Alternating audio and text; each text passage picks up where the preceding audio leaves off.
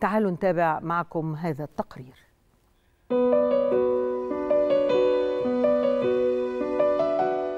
رحلت سيدة القصر الأشهر حول العالم وأقدم ملكة على وجه الأرض.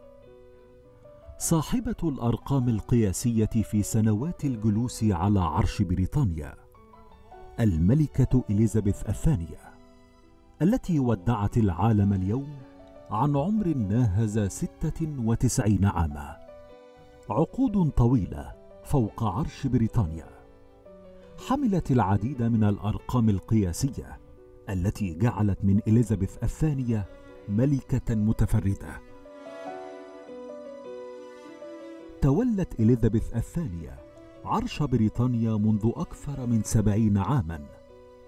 متخطية الرقم القياسي السابق لجدة جدتها الملكة فيكتوريا التي استمرت فترة حكمها ثلاثة وستين عاماً وسبعة أشهر ويومين. زارت إليزابيث الثانية بصفتها ملكة أكثر من مئة دولة وهو رقم قياسي آخر لم يحققه عاهل بريطاني وذلك قبل أن تتوقف عن جولاتها الخارجية في عام 2015 عقب بلوغها عامها التاسع والثمانين وخلال فترة توليها العرش. قامت الملكة إليزابيث الثانية بحوالي 21 ألف التزام رسمي وأعطت الموافقة الملكية لنحو أربعة آلاف مشروع قانون. وأقيمت تحت إشرافها أكثر من 180 حفلة استقبال في قصر باكنغهام وعاصرت الملكة 15 رئيسا للوزراء بداية من وينستون تشرشل عام 1952 وصولا إلى ليز تراس.